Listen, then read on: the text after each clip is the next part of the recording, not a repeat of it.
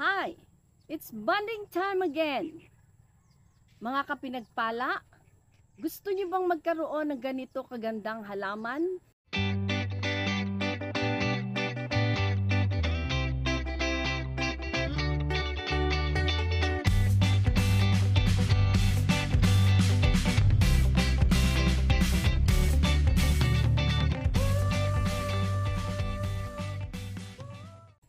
Ay wave of love.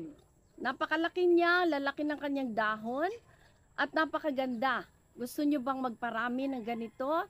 Tuturuan ko po kayo. Ang wave of love ay pwedeng indoor plant sa loob lang ng bahay natin. Pero ilalagay natin siya sa area na may napa- pumapasok na kaunting init. Ngayon ay papakita ko kung paano natin siya mapaparami. Ito ay nagkakaroon ng anak. Ang kanyang bulaklak. Tignan niyo po. Ito ang kanyang bulaklak at ito ay lumalaki. Pag ito ay lumulobo na, katulad dito. Look. Katulad dito, lumulubo na siya. Ayan, parang may sakit. Look, para siyang may sakit. Ang ibig sabihin ay buntis na ang inyong wave of love. At ito ay magiging mga buto. Ang ginawa ko po ay nilagay ko lang siya sa isang ah, tray na merong in-strain na coco peat. Ito yung mga natira sa na-strain namin. At pagkatapos ay in-spray ko siya and then nilagay ko lang itong buntis na na flower ng wave of love. At ngayon, tuwing umaga, makikita mo may lumalabas na buto. Ayan, nag-protrude ang mga buto. Look, itong mga butong ito ay pwede mong itanim. Tignan natin, ipapakita ko sa inyo kung anong dapat gawin. Maglagay ng lupa sa isang maliit na paso. Look, at yung buto, ito, tignan natin, ay pwede nating kunin. Kita nyo? At pagkatapos ay ating itatanim. Ganito lang po. Press down. And then i-cover. At diligin.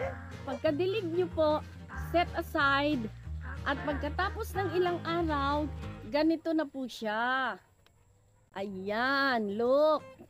Meron ng dahon na lumalabas. Yan ay baby wave of love. Look at this. Napakaganda niya. Yan ang baby wave of love. Imagine sa isang bulaklak magbubuntis. Ito'y araw-araw ini-spray ko, makakaparami kayo ng napakaraming wave of love. So lahat ng ito na nagpuprotrude ay pwedeng itanim at tutubo siya sa inyong paso. Look, every day nag-harvest ako ng buto. Kasi itong mga nagre-red, look at that, nagpumupula, yan po ay nagpuprotrude na at nagiging buto. Ganon lang po kadali magparami ng wave of love. Ayan. So kung titignan nyo po, iba't iba po ang nakalagay dyan. Mga bulaklak ng aking anthurium, ng aking iba't ibang malalaking dahon dito na halaman. At meron akong isa na napansin. Ito ay ah, rainforest. Look at that. Ito ay ah, hindi ko nakitang buntis, hindi ko nakitang lumalaki, pero dahil nakalagay lang siya sa damp na coco peat, look at that, lumalabas na ang puno. Ayan, kung lahat ng buto ay lalabas, mapupuno ito ng halaman at pwede ko nang ihiwa-hiwalay. Ganon lang, kabilis magparami ng wave of love. Nice, no? Sana magkaroon din kayo nito. And to end, meron ulit tayong verse, Matthew 18, verse 1 and 4. Sa Matthew 18 ay ah, sinabi ng mga disciples, ito na, babasahin ko na lang. At the same time, came the disciples unto Jesus, saying, Who is the greatest in the kingdom of heaven? Isa lang ang sagot ng Lord. Ito po, verse 4, Whosoever therefore shall humble himself as this little child, the same is greatest in the kingdom of heaven. Ang ganda ng sagot ng Lord. Kinumpare ang salvation, oh no, ang greatest in the kingdom of heaven, kinumpare sa isang bata. Sino man sa atin na makatulad ng isang batang very humble, yun ang magiging greatest in the kingdom of heaven. Number one, humility. Very humble. Eh, mababang loob. Yun lang ba ang ang pwedeng maging maging ah, panuntunan ng Panginoon pagpunta sa heaven? Ah, sa pa- pagiging greatest in the kingdom of heaven? Isa yun. Dahil, ano ba ang meron sa bata na very humble siya? Ay kasi ang bata wala pang alam, walang attainment, walang kayang gawin. Masyado siyang ah, dependent sa matatanda.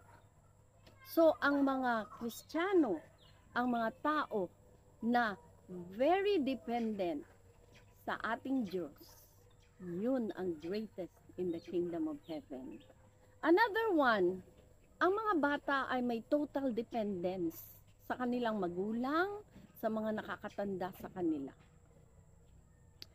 Ah, isang bagay na hinahanap ng Panginoon, magkaroon tayo ng total dependence on God alone. Yun bang mga bagay na sa tingin mo ang daling makuha? Kapatid, tandaan mo na ang strength ay nagmumula sa Panginoon. Ang talent nagmumula sa Lord. Ang kakayanan ng tao nagmumula sa Kanya.